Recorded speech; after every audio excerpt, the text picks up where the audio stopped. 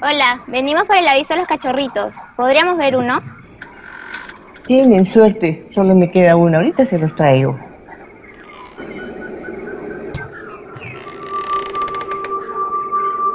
¿Le queda uno? No, lo siento, este es el último.